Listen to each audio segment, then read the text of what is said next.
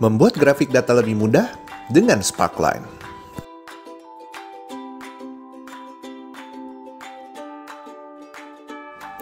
Ini adalah cara membuat grafik mini untuk melihat perkembangan nilai siswa dengan formula Sparkline.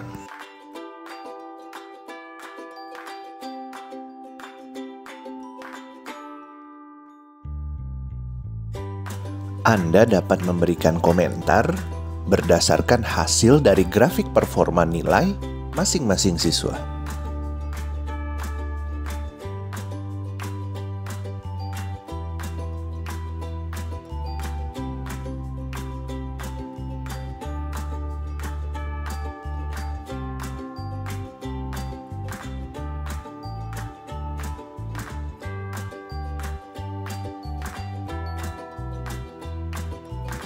Orang tua atau wali kelas siswa terkait dapat merespon komentar yang diberikan.